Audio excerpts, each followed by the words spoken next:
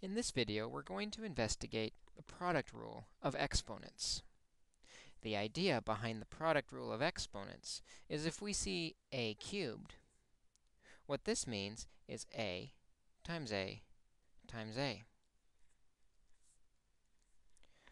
When we see a squared, what this means is a times a.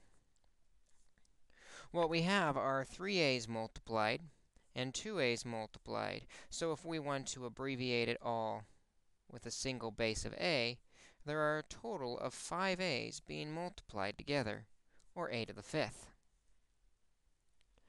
We might notice an easier way to do this problem would be to take the exponents 3 and 2 and add them together to give us the a to the fifth.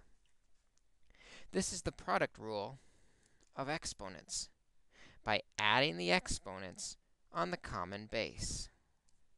So for example, on this problem on the bottom left, where we have 3 squared times 3 to the sixth times 3, we'll first need to remember that if there's no exponent written, we assume there is a 1. We've got a total of two 3's multiplied, 6 more 3's multiplied, and 1 more 3 multiplied. To find out how many 3's there are total, we simply have to add the exponents. 2 plus 6 plus 1 is 9. This is equivalent of 3 to the ninth power. On the right side, we have 2x cubed y to the fifth z times 5x y squared z cubed. We can multiply numbers like always.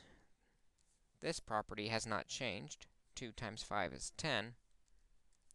And then when we look at the variables, we can see how many of each variable is multiplied together. We have x cubed times x to the first. There are a total of 4, or 3 plus 1, x's multiplied together. Similarly, on the y's, we have y to the fifth and a y squared.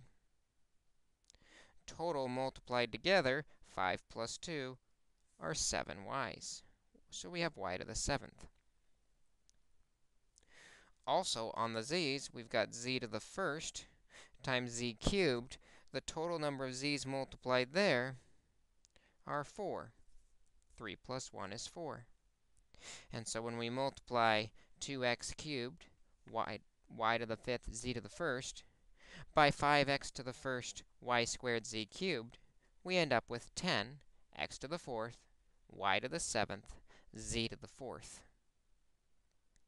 Again, the product rule of exponents says that we can combine the same base together, if it's multiplied, by adding the exponents to find the total number of that base that's multiplied together.